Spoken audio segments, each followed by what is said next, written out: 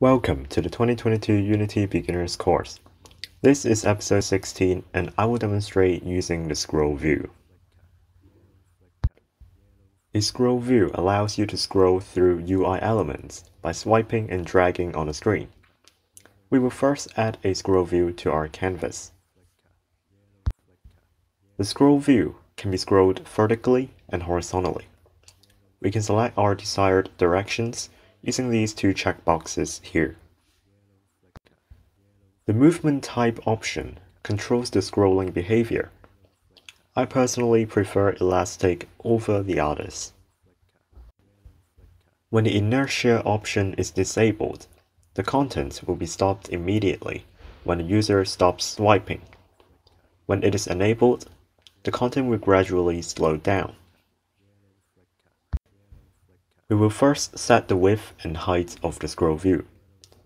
I will use the anchors, just like what we've covered in the previous episode.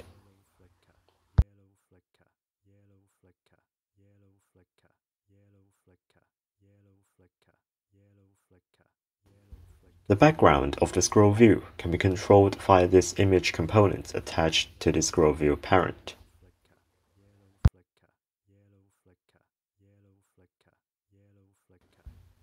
As you can see, the scroll view contains a few child objects. We can ignore the horizontal and vertical scroll bars. The viewport is what we will focus on.